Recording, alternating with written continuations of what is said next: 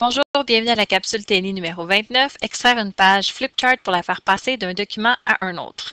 Alors, euh, il arrive régulièrement que euh, je, suis en train de faire un, document, tout ça, un flipchart, et que je veux venir insérer une page qui provient d'un autre document.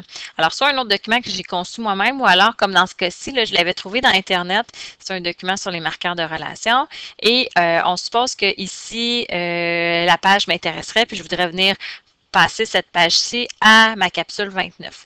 Donc, euh, comment faire? Ben, c'est une petite stratégie que je vous propose aujourd'hui. Dans le fond, c'est un pont euh, et le pont passerait par mes ressources. Donc, euh, la façon de procéder, dans le fond, c'est que je vais aller dans mes ressources.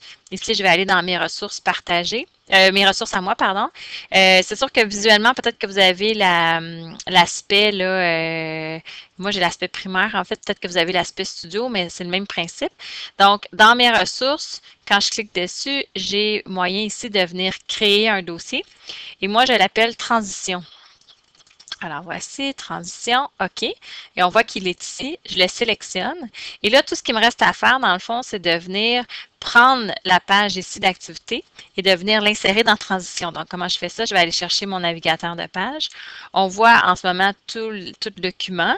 La page qui m'intéresse, c'est celle qui est présentée. Donc, c'est celle-ci où il y a un petit menu. Je clique sur le menu contextuel.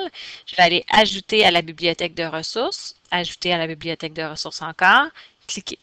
Maintenant, si je retourne dans mes ressources, alors mes ressources ici à moi, transition, la page est là. L'avantage, c'est que maintenant, ben, je peux aller dans la capsule 29 et bon, alors ici, j'avais la capsule 29 et là, je peux venir chercher la page qui était là et l'ajouter ici à mon document. Donc, à partir de maintenant, j'ai dans mon document capsule 29 ici, bien, si je navigue, la deuxième page se trouve à être l'activité et je n'ai pas perdu les, les animations qu'il y avait dans ma page. Donc, en très peu de temps, dans le fond, j'ai passé euh, ma page d'activité d'un document à l'autre. Alors, j'espère que ça vous fera sauver du temps. À la prochaine.